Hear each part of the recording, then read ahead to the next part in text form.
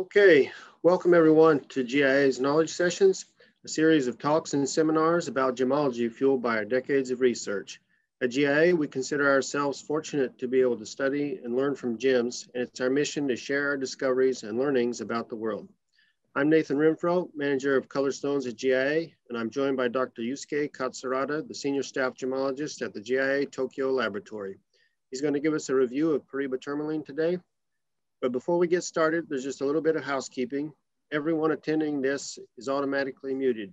If you have a question, please submit it using the Q&A feature you'll see at the bottom of your screen. Feel free to ask questions there as we go. There'll be a Q&A session at the end where Dr. Katsurada will have the opportunity to answer some of your questions. We'll also be sending a recording of the session to you later today, and that message will have a survey, and so we'd love to hear your feedback. With that, I'm going to pass you over to Yusuke. Uh, thank you, Nathan, for introduction. Well, um, let's let's get tangled up in neon blue. Well, uh, today I'm going to talk about the, the Paraiba tourmaline, one of the, the sought after gems. This, now it's very popular in the, the trade.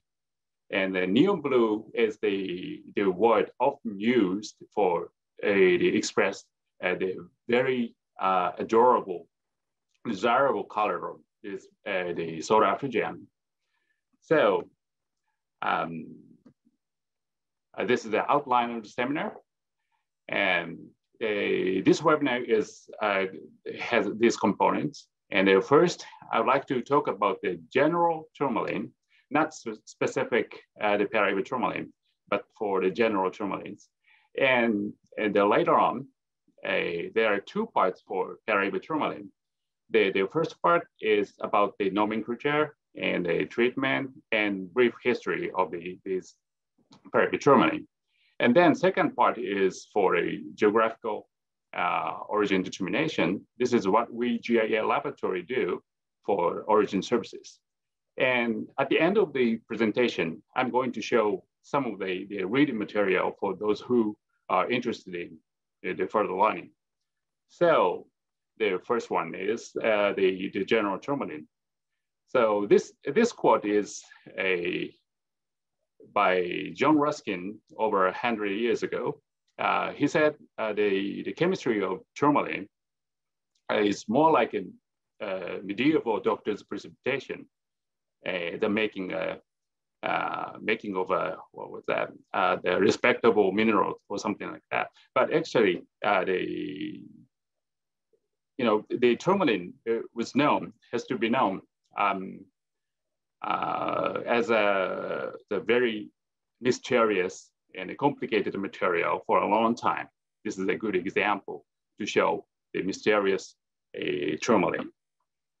So um, let's start with the, the tourmaline as a mineral. You know, the, the, most of the gemstones is mineral, apart from the rock or uh, aggregated material and uh, biogenic uh, organic material like pearls. So most of the transparent material, the gemstones, are mineral. And this is the exp explanation uh, in the, the GIA, uh, the cost material. The mineral is um, a natural inorganic substance with a characteristic chemical composition and usually characteristic structure. There are two important factors in it. So one is the, the characteristic structure. And as a, the, the structure of the mineral, uh, we often use a crystal system. And I don't go farther for the, the, uh, the crystal systems right now, but the, the tourmaline belongs to the trigonal uh, crystal system. And this is the same as the quartz and the corundum, you know, the sapphires and rubies, uh, corundums. These are all the same, uh, the crystal group uh, crystal systems. And the next one is, um, oh, sorry. Uh, the characteristic, uh, the, the chemical composition. Uh, each mineral has um, identical uh, composition in it. Uh, these are the examples. And these, uh, the three photographs are the, the, some of the, the minerals. The, the first one is the diamond. Diamond has a, the simplest form of the, the chemical com composition in a mineral. and that is composed of only a carbon. So this can be written as only C. And the second one is a quartz. Quartz is also a, a simple form of the, the chemical composition. It has uh, the silicon oxide, SiO2. And then the last one is a ruby. Ruby is a, a the mineral corundum. The corundum is aluminum oxide, Al2O3. So like this, um, all mineral can be described uh, using these the formula. So um, tourmaline. So what is the chemical composition of tourmaline? Uh, I think uh, the some of the, the past uh, the knowledge session webinar uh, showed some of the, the tourmaline structure and uh, composition with a complex, uh, the complicated uh, the formula. So the, some of you in the audience may have some idea, but uh, I don't think it's easy to, to recall in detail. So um, and, and this is the composition. Well, um, this must be a surprising uh, appearance for, for most of you.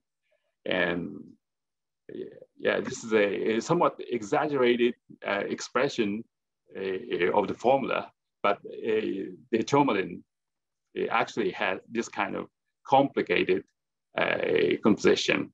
But this is because uh, the tourmaline is not a single crystal, and I mean, not a single mineral, but the group of minerals. So um, and actually, uh, these, uh, the elements uh, in a bracket is uh, for the certain uh, position in the crystals.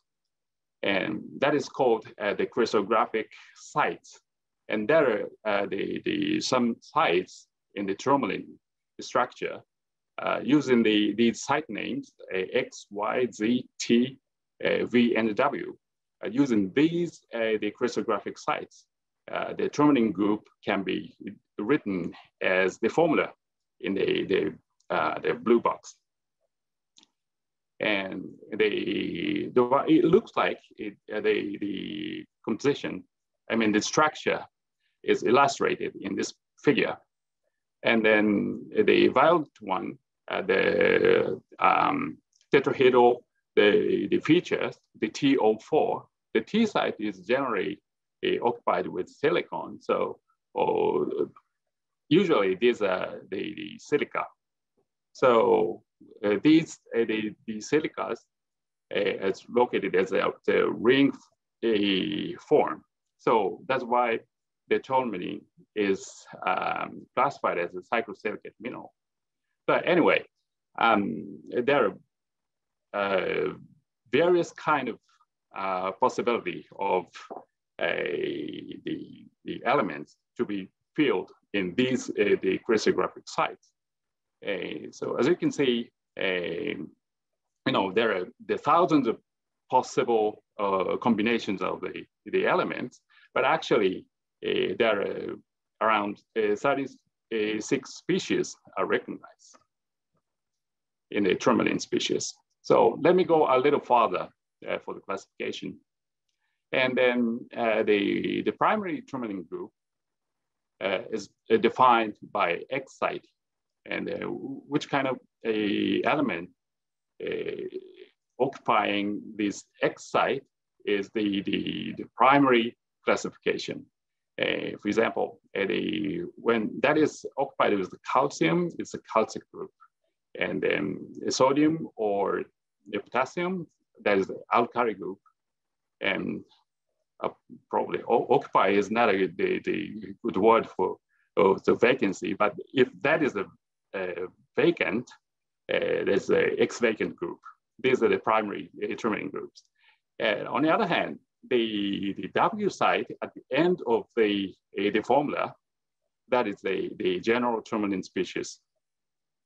The generally hydroxy species, um, the, the general uh, form of the tourmaline, ideal case, but some uh, the anions like uh, oxygen or fluorine is dominant in that site, the, the, the tourmalines are called oxy something or fluor something, but generally that is not uh, the very important for the classification.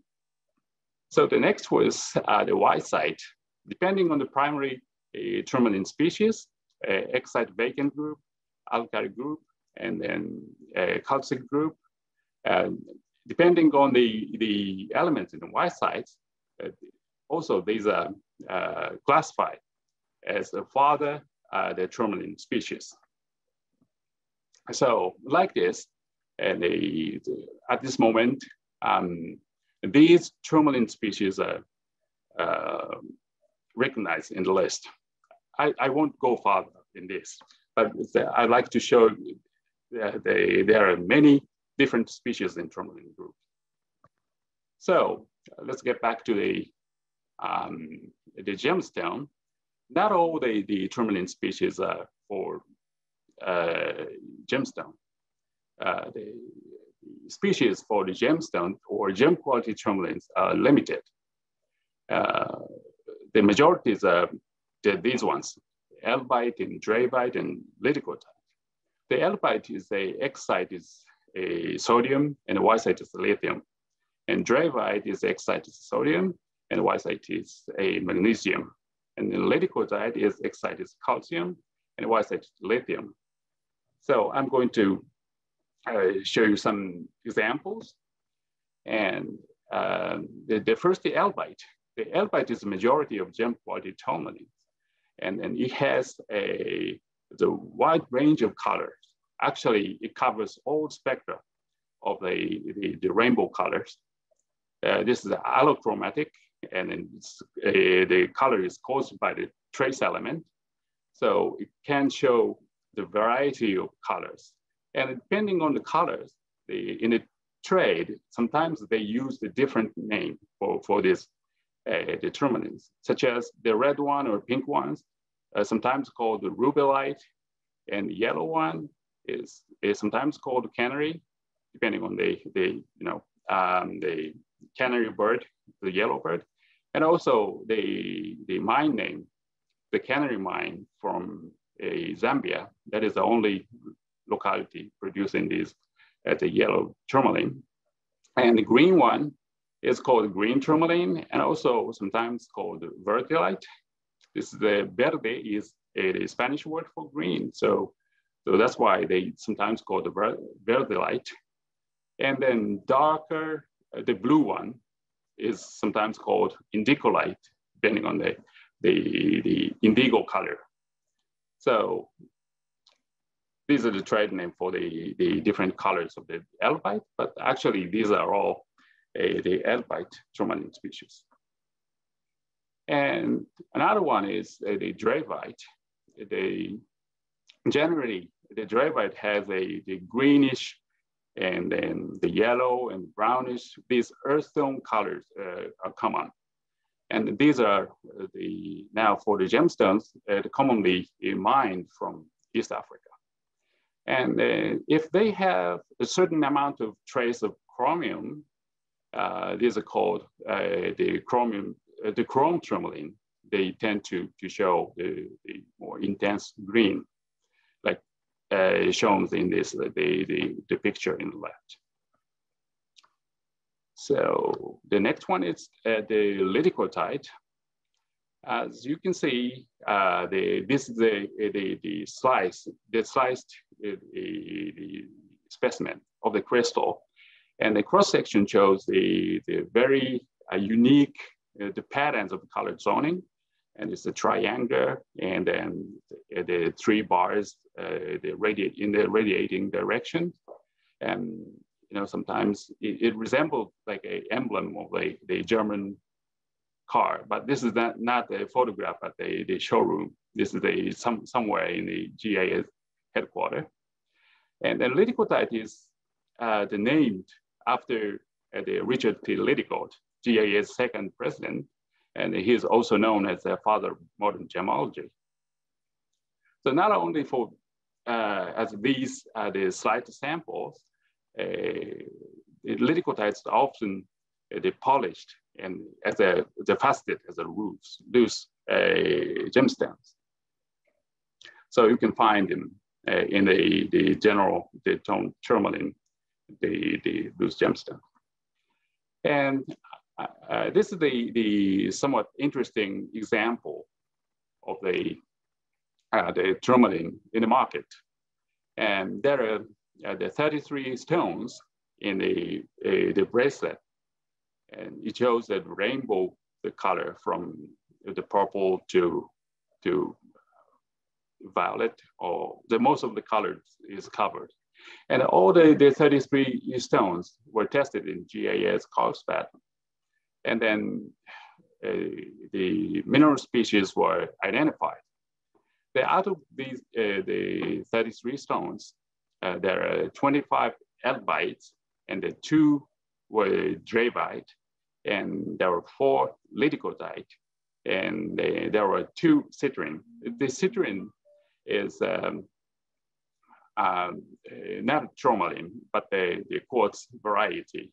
So uh, it's interesting. And even though they're told as a tourmaline a species, but actually uh, they have, uh, they may have some other materials in it.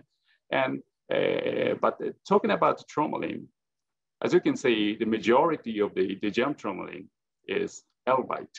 And then there are some other species like dravite and liddicoatite. This is the, the, the, the same impression we have, we gemologists have uh, in the market. So uh, the next is the, the tourmaline. The, the first part is the, the nomenclature and the treatment and the, uh, the brief history.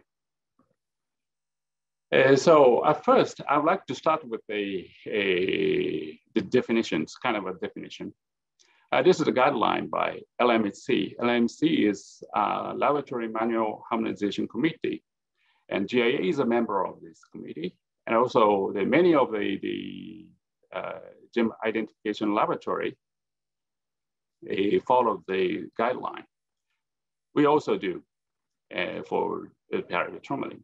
So there are uh, the four important factors in the, this description of the guideline. So I'd like to, to focus on these four factors for now.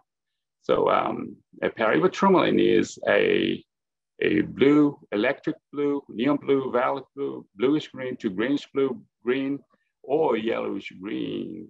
So it says the color. The first a the factor is color. Uh, it's a little complicated expression, but actually uh, the dominant color should be blue or green. So the, the range of the color is the blue to green. And the tourmaline, so they don't uh, specify the species. Um, as previously shown, uh, there are many species in the tourmaline group, but actually for being a Paraíba tourmaline, a the species doesn't matter. So any kind of a tourmaline species, okay. Uh, of medium light to high saturation and tone relative to this variety of tourmaline, and mainly due to the presence of copper and manganese. And this is the, the most important factor for uh, Paraíba tourmaline definition. And this color should be due to the presence of these elements. The one is copper and the other is manganese. Actually, the dominant, uh, the chromophore is a copper. And finally, a, of whatever geographical origin. So it doesn't matter uh, the, the, where they're from. So, so these four factors, uh, the very important factors to be called uh, the tourmaline in, in the, the gemstone market. So I would like to go to the, the, the scientific side of uh, this definition, and especially for the color. So the tourmaline is a blue and or green uh, a copper-bearing tourmaline. Actually, a, the manganese should be a, included, but actually the, the most of the, the dominant color, uh, coloring factor is copper. So this is the, the absorption spectra um, uh, we've taken a, for, for the Paraiba tourmaline, the typical ones. And you can see uh, in the, um, uh, the visible region, visible light region, uh, the, there is the strong uh, absorption in red region and also the infrared, near infrared region. These are caused by the, the divalent copper. And also, so sometimes we can see uh, the weaker, uh, the manganese, uh, the three plus absorption in the, the green region. So, uh, but not, not always we, we can see uh, this absorption uh, due to the, the color. Because um, if this, the manganese absorption is very high, the color will be more purplish. So that won't be uh, the Paraiba color. So generally, uh, for the tourmaline, the, these, the manganese, uh, trivalent manganese absorption is not that big. Well, uh, for the blue tourmaline, uh, not all the blue tourmalines are colored by a copper. Actually, there are uh, the other elements causing the blue color. So this is the example. And um, you can see uh, there is uh, four uh, different absorption spectra here. And the blue, blue arrow and the green arrow, these are caused by copper absorption. They, so this can be called as Paraíba. And the other two has no absorption uh, peaks in the uh, infrared region, or the you can see the, the right-hand side, the nearly uh, the 900 nanometer region, there's no absorption, but only in the 700 nanometers, the region, the, actually that is the red region of the visible light, and uh, absorption. So this is a, a caused by iron only and there's no oh, copper absorption. So oh, these tourmalines are not colored by copper. So, so these can the, these tourmalines cannot be called as Paraíba tourmaline. So the next one is green tourmaline. So also the, the some of the, the copper bearing tourmaline can be green depending on uh, the, the other the trace elements. So uh, as a red arrow. As you can see, uh, there's absorption in the, uh, the near infrared region and that is caused by the divalent copper. So oh, this can be called Paraíba. But the other one, uh, the same as the previous slide, the blue one, uh, the one is the, one, one has a, the biggest absorption in the red region, and that is caused by iron also. So uh, this cannot be Paraíba. Uh, the other one has a, a, a totally different uh, absorption spectra that is caused by vanadium. Uh, the, generally, vanadium colored uh, green tourmalines are, dravite. These are definitely different from the, the, the copper absorption. So these are not Paraíba tourmalines. So the next is a, the treatment. And uh, in order to get the, the, ideal color to be called uh, tourmaline, the, it is so common uh, to be treated with heat, uh, with heating. So this is a, the result of the um, uh, experiment of the heating. And the, the, this ex uh, experiment is done for three hours at uh, 530 degrees Celsius. And then these are the, these, uh, the samples of uh, the, the, this uh, experiment. There are 16 samples. these are sliced into two and then left portion is before the treatment, I mean, before the experiment, and then the portion on the, the right side, that is after the heating. So as you can see, the after the, the heating, uh, the, these uh, the samples shows very ideal uh, blue or greenish blue color to be called Paraiba. And the, the absorption spectrum on the right side, uh, this is a, the example of uh, one of these, the heated samples uh, before the heating and after the heating. And you can see the copper absorption is almost the same, but the, the manganese uh, absorption is quite different. So it means uh, by heating, uh, the trivalent uh, manganese absorption can be reduced. This means the, the purplish colors, purplish hue will be removed to get the ideal, the copper or originated, the bluish, the greenish blue and blue colors. So uh, another treatment uh, we often see in the Paraiba tourmaline is clarity enhancement by fracture filling. Uh, you know, everything with a, the fissure or the fracture uh, has a potential to be uh, filled for clarity enhancement.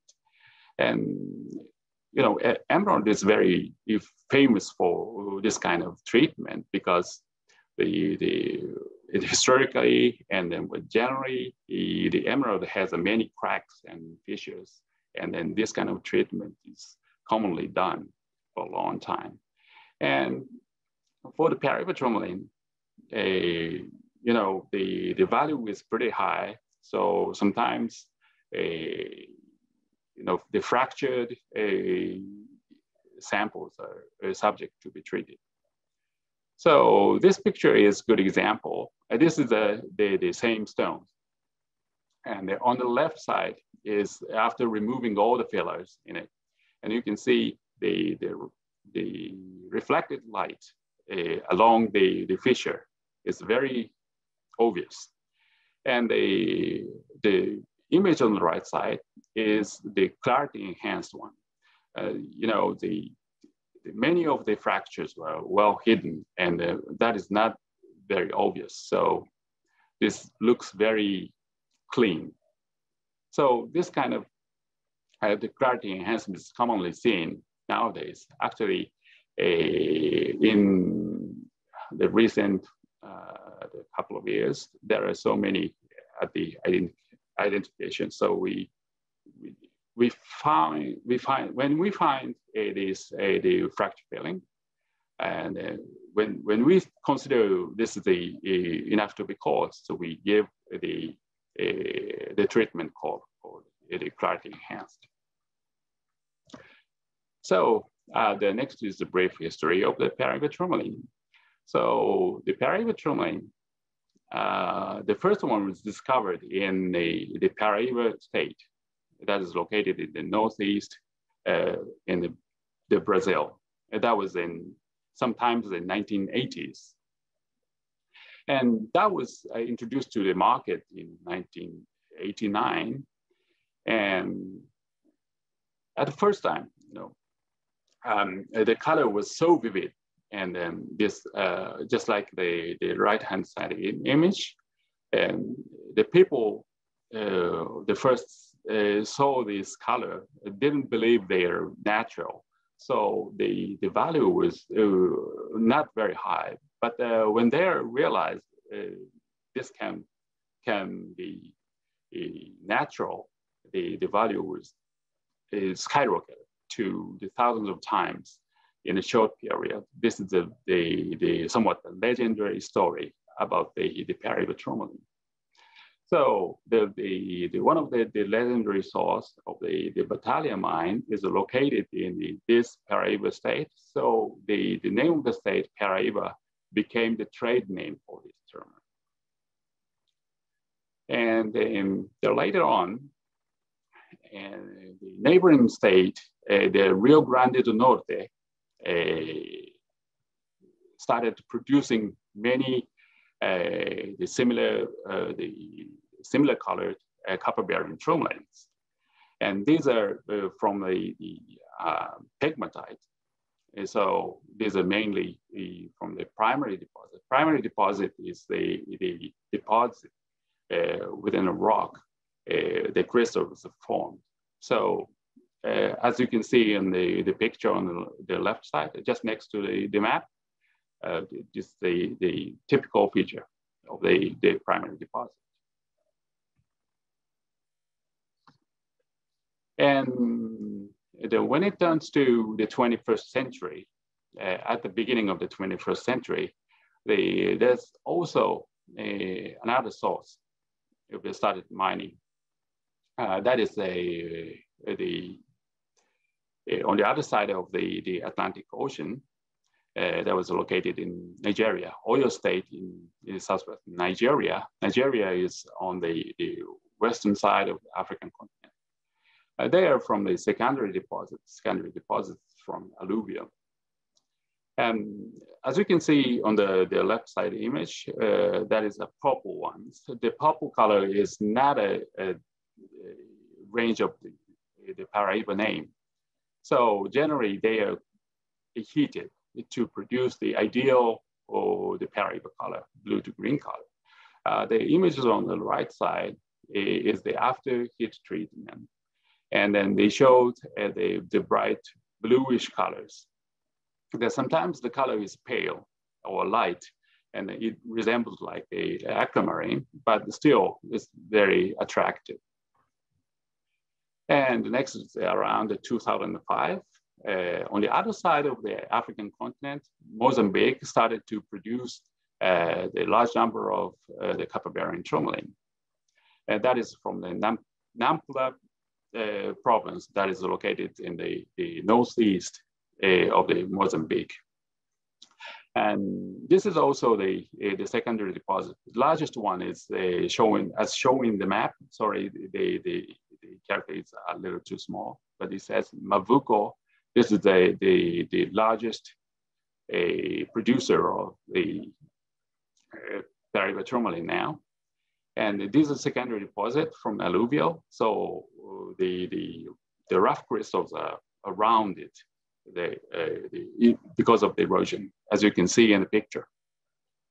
And, you know, it shows uh, the, the different colors, as, just as the, the Nigerian material or some of the, the Brazilian material as well.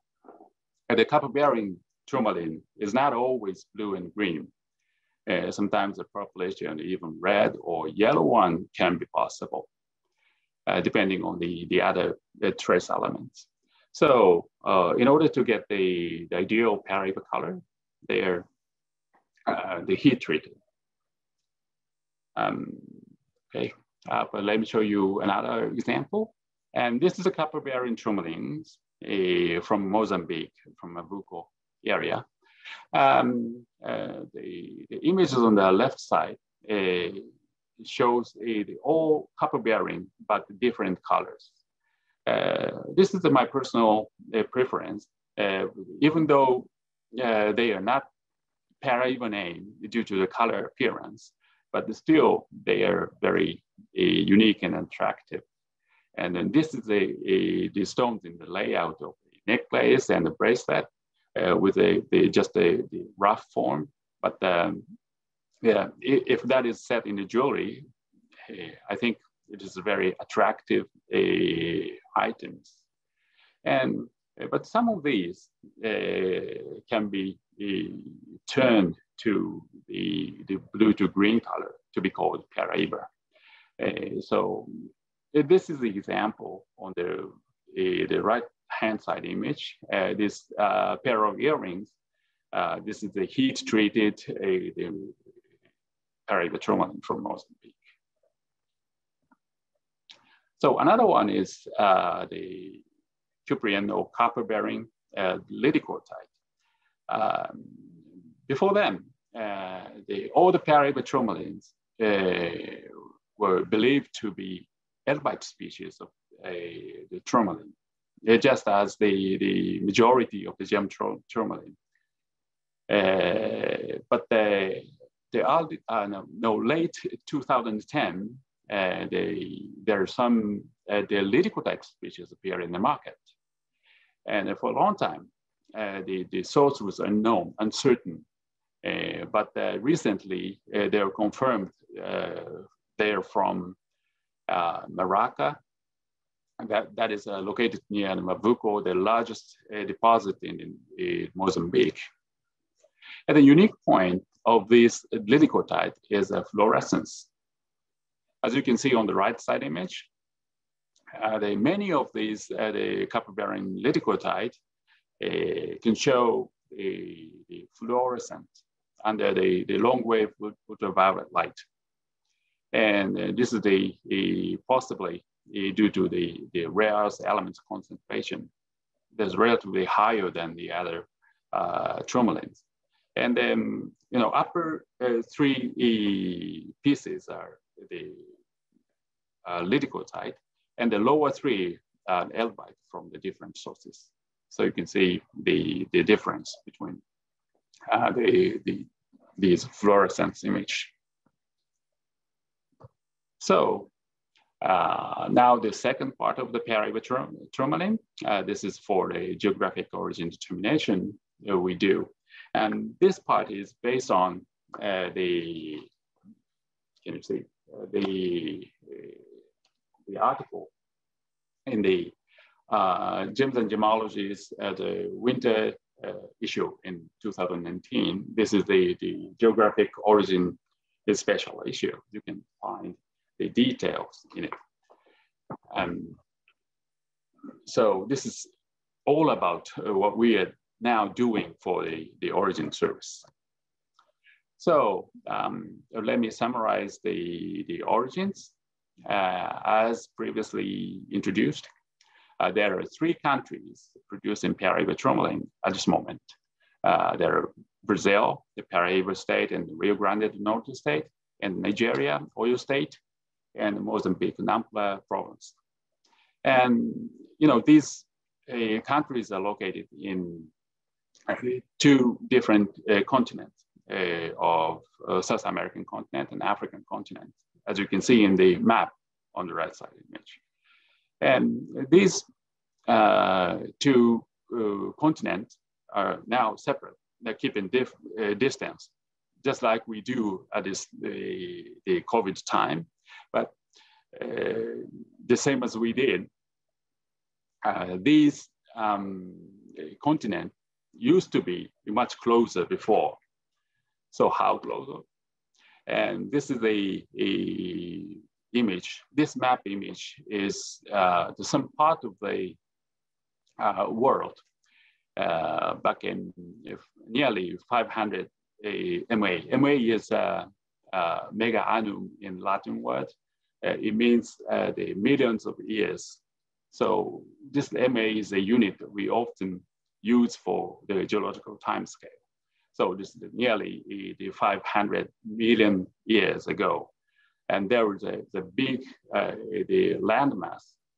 And as you can see, there's a outlined a uh, image of the, a, the silhouette of the, the, the current um, the continent.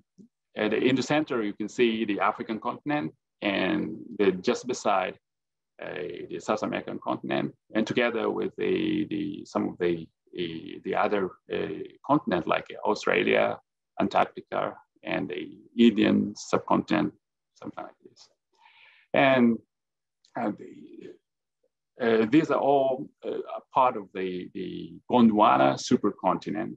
Uh, that Gondwana supercontinent was formed when the, the smaller landmasses uh, were uh, joined together. And then when joining all these, uh, the, uh, the land masses, there are some movement of the, the land forming processes. And, you know, the, the colliding parts, they had a, a very active a formation of the land. And that is called erosion or orogeny. And in that area, when forming the Gondwana supercontinent, was colored with the, uh, the orangey tone in the map. As you can see, in, in these, uh, most of the African continent and some of the, the, the South American continent. Uh, these orogenies named the, the Brasiliano in the, the Brazilian part, and then Pan-African is on the African side. But anyway, the same kind of the, the land formation uh, uh, occurred. Currently, we can see in the Himalaya mountains. And, but the, at that time, the, when the Gondwana supercontinent was formed, uh, there's a, a, a, similar activity. And then uh, the, those, uh, the Paraíba bearing, and the, these uh, lo localities are all located in the area of the, the these orogeny. So these Paraíba tourmaline sources were uh, geologically highly associated with each other. And as previously explained, tourmaline uh, is uh, the chemically very complicated. And in other words, it, it means the, the, the tourmaline is very sensitive to reflect the, the, the surrounding chemical environment in, uh, the, in its chemistry.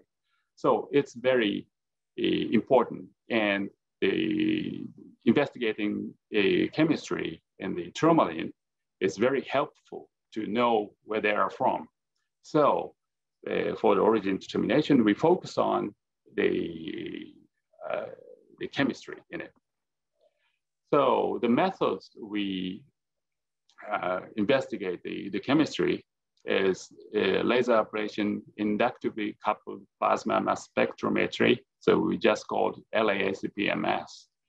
And then, so we can uh, analyze uh, the various kind of uh, trace elements uh, with a very high accuracy with this equipment.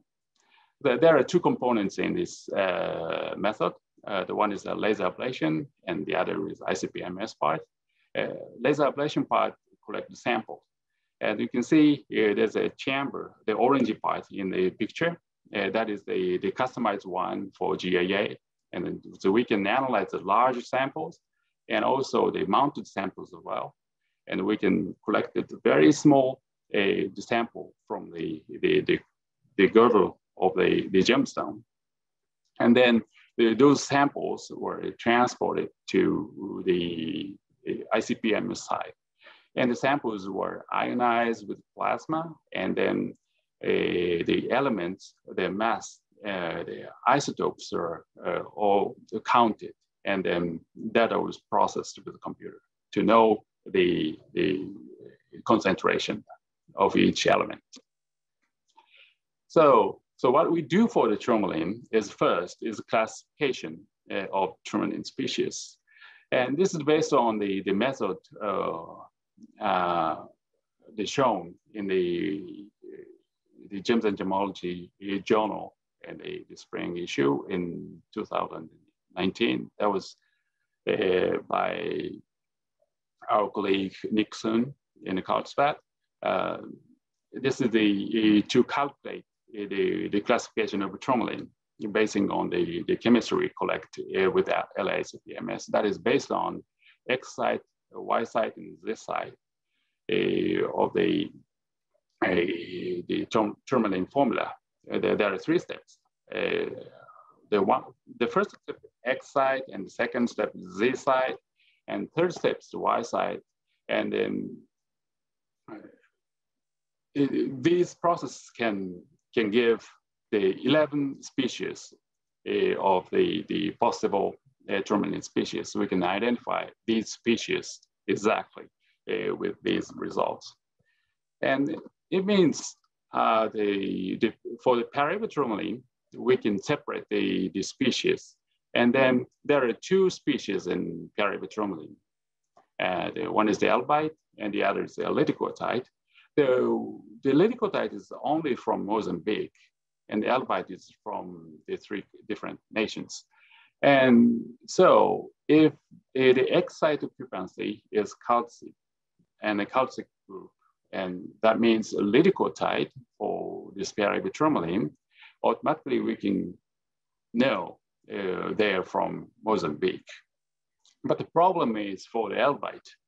Uh, as you can see, the, for the elbaite, uh, these are the reference samples. You know, the, the, all these countries, Brazil, Mozambique, Nigeria, all overlapped in the, the same, uh, the Elbaite side. So, so we need further investigation for this. So we focus on a trace element for Elbaite.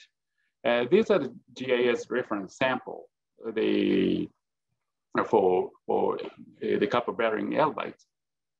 So there are 151 samples from Brazil, the same, it's 17 from Nigeria, 116 uh, from Mozambique. Uh, these numbers are uh, the, at the time of the publication uh, of this, uh, but now so we add uh, some more. And you know, we use the the the typical and the characteristic combination of the, the trace elements for this reference to utilize for the origin determination. And so we test uh, the various kind of uh, the many elements, but we focus on six elements uh, to separate the possible uh, the origins. Uh, these are the, uh, the, these six elements, the copper, zinc, gallium, strontium, and tin, and lead. These six elements to be used for comparison. And I'm going to show you the, some of the, the plot diagram uh, that is easy to understand uh, the, the distribution differences. Uh, the one is copper and gallium.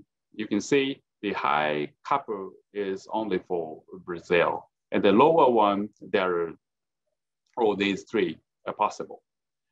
And on the right side, the copper and the strontium.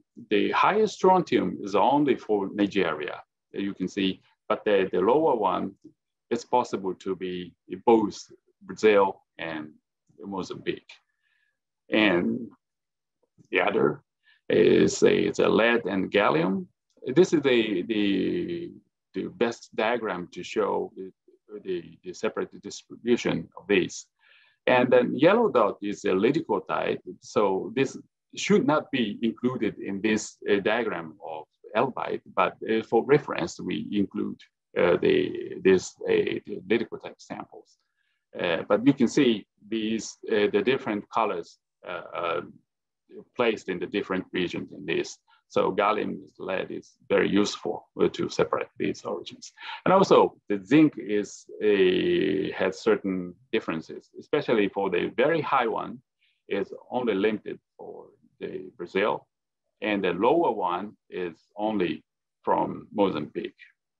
So the combination of the gallium zinc, the higher gallium is for uh, Mozambique and the higher zinc is and the lower zinc is uh, Brazil and Nigeria. So you can separate these two groups. And the other is uh, tin and gallium. Uh, as you can see, you can separate the, some of these and zinc and copper also. And the high zinc and copper, high copper is limited for Brazil. So it's uh, quite useful to separate Brazilian origin. So uh, from now, I'm going to show some of the case studies. Uh, there are four stones uh, of the, all, you know, all of these uh, shows a, a, very beautiful uh, Paraiba color. It's a blue to green or greenish blue, the colors. And the size differs. The, from the smallest one is a 2.69. The larger one is over 10 carat, but you know, they're all attractive, stones. So the first one is the case one, this one. Uh, the result was a, it's a plotted uh, as a red circle. And then due to the, the limitation of the time and the space, uh, I only show these two diagrams. So please guess uh, the origin of the possible origin of these stones. So this is the, the copper and gallium and lead and gallium diagrams. As you can see, this red circle went on only the, of the group of the blue dots, the Brazilian one. So this is the, the, the, typical Brazilian derivative So the case two, uh, this one is uh, the, the plot in the higher gallium side. Uh, as you can see, uh, in these two diagrams shows the, the group of greens. So that is the Mozambique one. And the third one, as you can see, um, uh, this plot uh, in the group of uh, the bluish one, the light blue and the, and the violet one.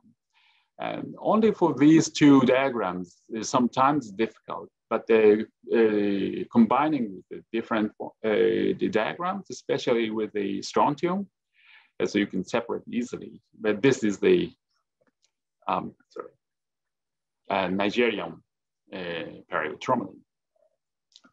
So the last one, uh, the case four, and, and this might be a little difficult because the, the, the left one, the copper and the gallium, is uh, located in the, in between the two groups, but they're slightly closer to Brazilian one.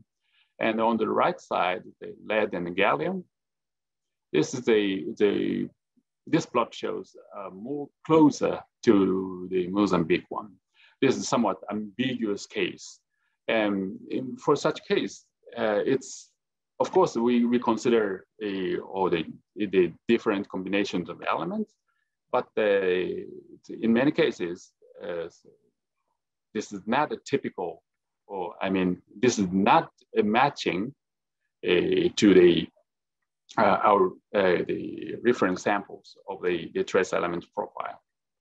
So in such cases, we don't hesitate to give inconclusive uh, origin uh, as a result.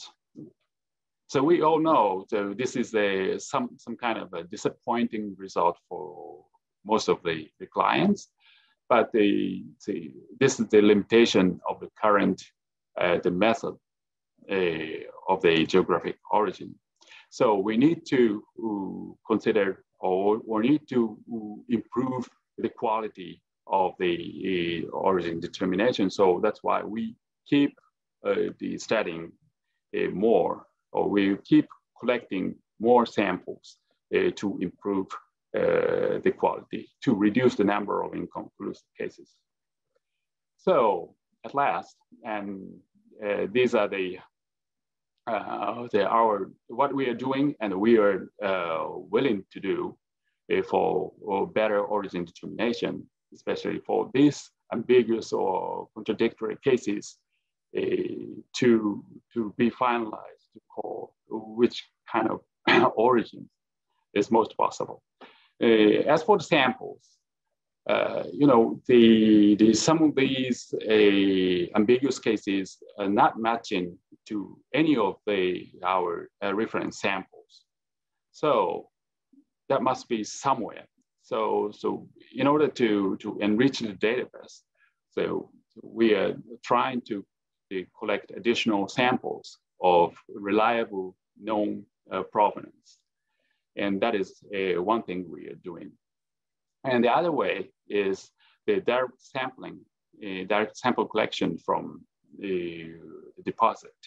Uh, this is the target of the uh, the our the GIA's field gemology department, and especially when the, the new the, the loca new locations of mine started mining, so we definitely need to go and collect the samples and for the further uh, additional uh, possi possible sources as a database. And these these two other points. And also the methodology, the new chemical discriminators uh, can be possible, such as uh, the statistical approaches like a discriminant analysis and the multivariant statistics. Also, some of them we are using for the other gemstones like uh, rubies and sapphires, emeralds. But the same way, it can be possible to separate more effectively so this is one of the target. And also the tourmaline has a chemical zoning. The visually is sometimes uh, the zoning is different and the color, depending on the color it appears, uh, the chemistry will be different.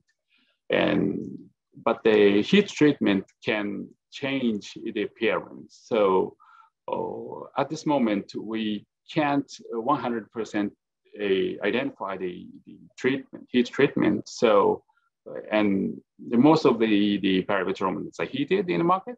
So, uh, so we have to consider the possible, the potential, the chemical zoning.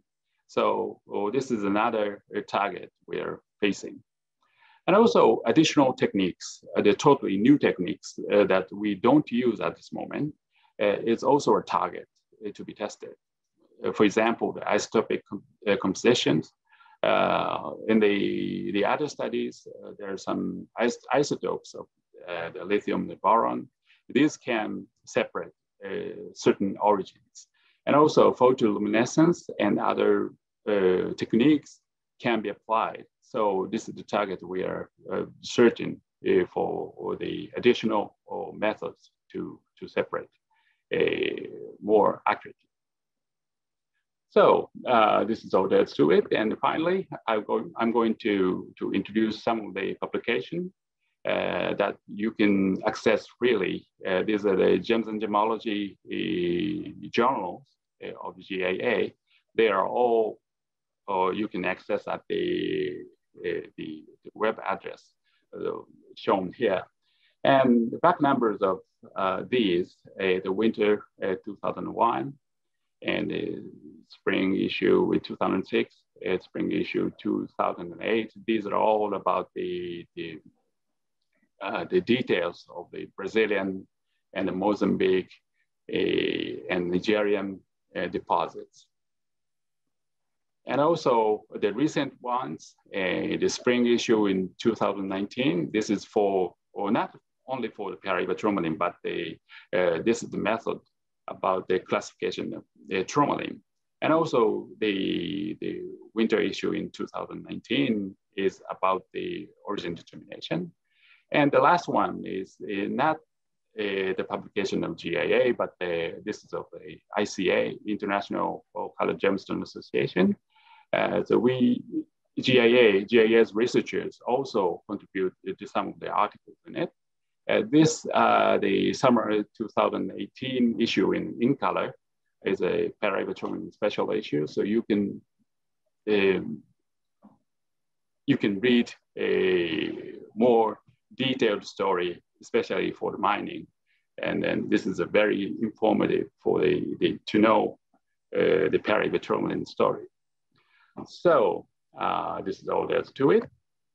Now I'm, I'm happy to answer any questions. Thank you. All right, thanks, Yusuke. Yeah, we, we had quite a lot of uh, questions come in from the audience. So um, uh, we're running a little late, so uh, we'll try to get through a few of those before we have to go. Uh, the first question I have for you is, is there any overlapping color between iron colored tourmalines and Paraiba stones? And how can those two stones be distinguished when identifying them in a store? Yes, uh, the, the typical case is very easy. You know, the, the very vivid uh, neon blue, uh, the, uh, the uh, copper colored one, uh, even though they have certain amount of iron, the, the copper is still dominant. So it's easy to know the, that it's Paraiba.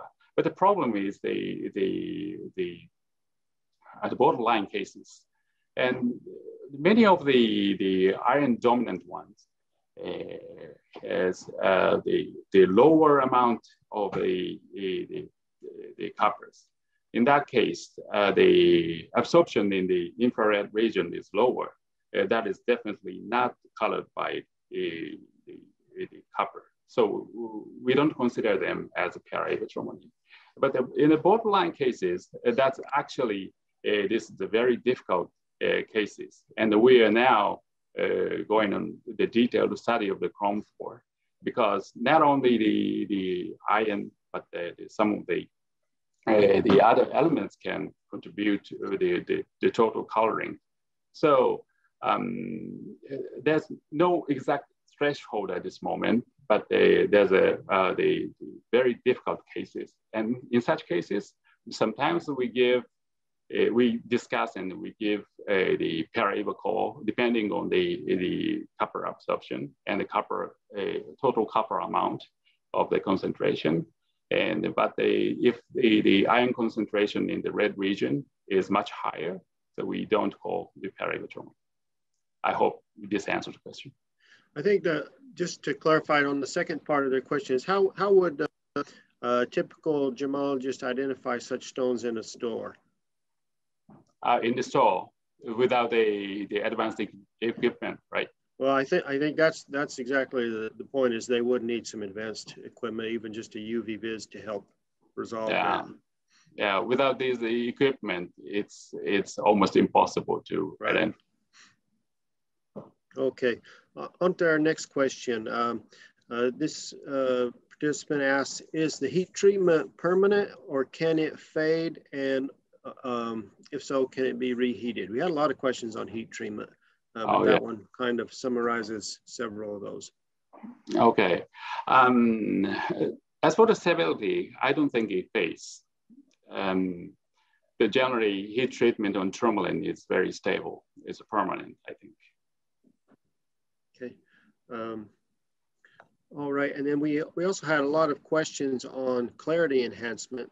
Uh, I'll try to combine several of these together. So uh, is clarity enhancement stable? Uh, what sorts of materials are used to fill the fractures for um, clarity enhancement? Uh, and does GIA quantify the amount of filler in a similar way that we do to emeralds? Oh, the, the filling material is generally a resin or oil, just the same as the emerald. So they are not a permanent, they are not very stable. Sometimes you can uh, remove uh, those fillers and uh, in the general use and uh, when the time passes, it can easily be removed. And uh, the, as for the, the classification, I mean the identification process, we don't give the, the same way of the, the classification of the clarity enhancement as we do for emeralds. Uh, but um, this moment, uh, generally, uh, when a, the fracture filling is very obvious, and then we consider uh, that is enough to be called. Exactly.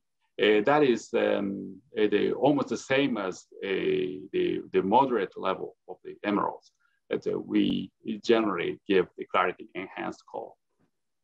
Of course, it depends on the, the, the case. You know, the, the number of the fissure, field fissure is limited, but the, if it is located in the center of the stone and deep, definitely we call. Yeah. Okay, good. Um, so we have another question of, if, if we know the tourmaline was treated to get Paraiba color, but the original color was not uh, in the hue range recognized by the LMHC as Paraiba hue, can we still call it Paraiba? Uh, no, unfortunately not. Uh, the uh, the definition of the the uh, the Paraiba is uh, one of the definition is color range a, of the dominant color should be blue or green.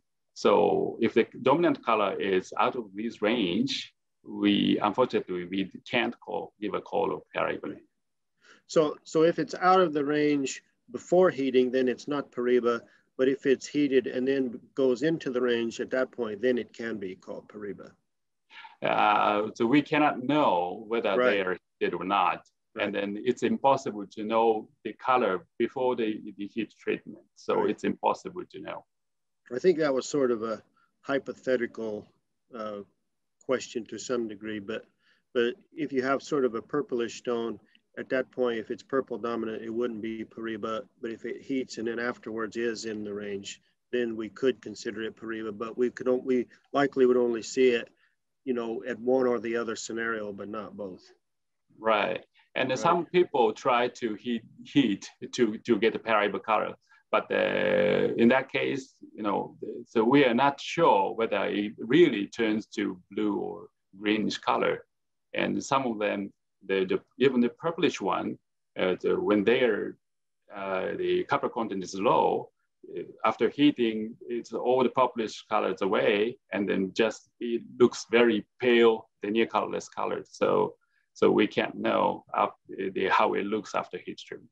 Right. Um, one more question here is, um, do all Paraibas have the same chemical makeup no matter where they are found geographically? And I think you touched on that a bit in some of your later slides, but if you could just give a quick summary on the, the, the chemical makeup for the Paraibas from the different countries. Um, yeah, but generally, uh, the, you know, as a, um, the species, there are liddicoatite species from Mozambique, and then there are elbaite species for all of these three countries. And then there's a, a, the trend of the certain trace element. And then the higher copper and higher uh, zinc is tend to be Brazilian. And then higher gallium tend to be Niger uh, Mozamb Mozambican. And higher strontium is tend to be Nigerian like this. this there, there's, there are some the trends of the trace element. Okay, great. And for our last question that we have here, um, that we have time for today is, uh, what is the geological setting for Paraiba tourmaline to form? And is there some sort of special condition that allows copper to be present? Uh, that's a difficult question.